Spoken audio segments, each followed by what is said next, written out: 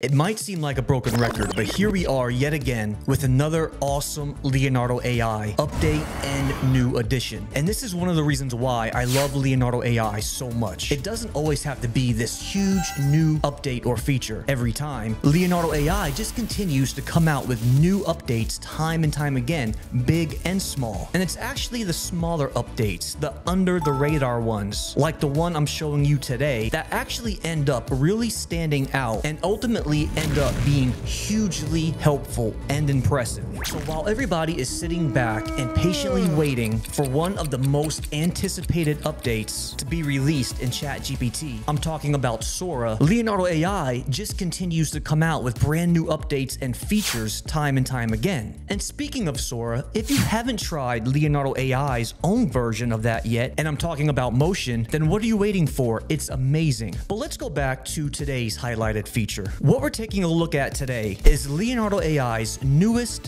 feature that enables true native transparent PNG image generations. Basically, transparent images. And you could see here that Leonardo AI actually states that transparency is more than just background removal. This is a native image diffusion with clean edges. So this will be perfect for creating high quality, transparent background images and graphics that could be printed printed and used for things like stickers or t-shirt designs. And Leonardo AI also states that it's also really effective for generating ready-made 2D video game assets that can be downloaded and added straight into video game engines. Let's just get right into it. Okay, so here we are over here in Leonardo AI. Make sure to check the links in the description for tons of prompts. And it's very easy to get this going. And all it takes is just three very simple steps. The first thing, over here on the left-hand side, underneath user tools, go ahead and then just select image generation like you normally would. And then immediately you'll notice on the left-hand side, there it is. There is the new update and feature, and it's called transparency. Now you could see it's still in beta, but from the times I've used this, it's done a phenomenal job. Now, one thing to keep in mind, two very important points directly from Leonardo AI themselves. So when I hover over this little question mark, this is a little important piece of instruction, okay? Allows images to be generated with a transparent background, but do not specify a background in your prompt, as you may get undesirable results. Meaning, when you're actually adding prompts and you have transparent toggled on, in your prompt, don't actually type or use the word background in your prompt. Trust me, it won't do a good job. And then the other thing it says is this last sentence does not work well with Leonardo Diffusion XL. So then you might be asking yourself, well, what models do you suggest I actually use this with? Well, I'm glad you asked because Leonardo AI specifically addresses this now here we have it. It says right here with this highlighted text. For best results, use these fine-tuned models. Kino XL, Vision XL, Albedo Base XL, Alchemy V2, or Photoreal V2. So back over here on Leonardo AI, I have transparency turned on. Now notice this up at the very top of my page. Look at this caution icon right here.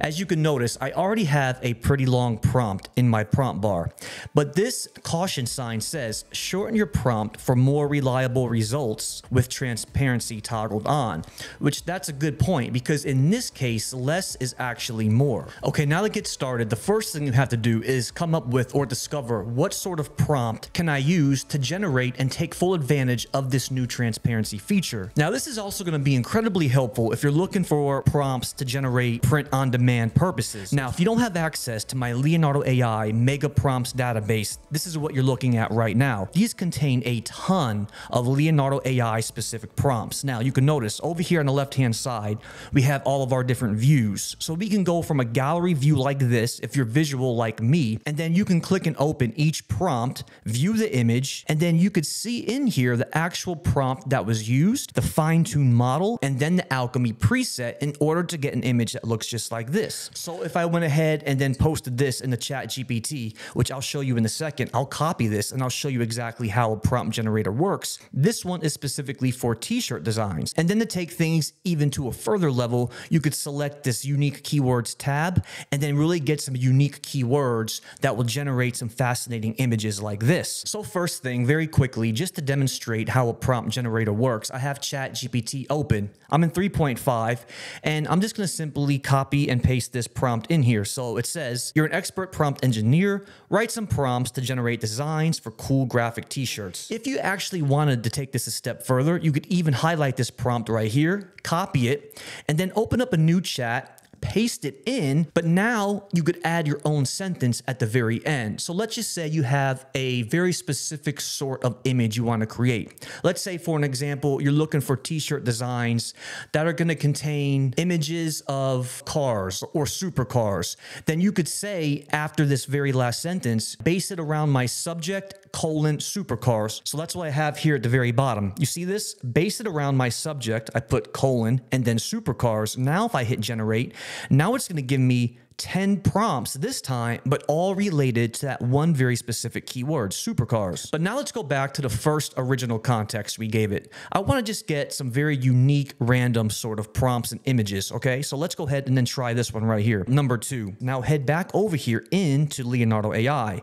Now remember, select a fine-tuned model that Leonardo AI recommends. In this case, I'll use one of my favorites, Albedo Base XL. I'll keep it on dynamic. Now, I need to make sure I remove my element and now I'm gonna paste this prompt in, okay? On the left-hand side, I have my transparency turned on. Now I'll select generate. Now I'm gonna go ahead and then copy and paste a few of these directly into Leonardo AI. Once it's done, we'll go back to Leonardo AI and then we'll see how a lot of these images and how well the transparency feature actually worked. Okay, so now let's take a look at how good these images turned out. But you'll notice here first that I'm not actually in Leonardo AI right now. I'm in Canva Canva because what we're going to do is take a look at a few of these images and then we'll see how good they really do look on a completely different background with a different assortment of colors. But now here we are back in Leonardo AI this time. Now here are a few prompts I tried. Now let's go ahead and download a few of these and then see how they look in Canva itself.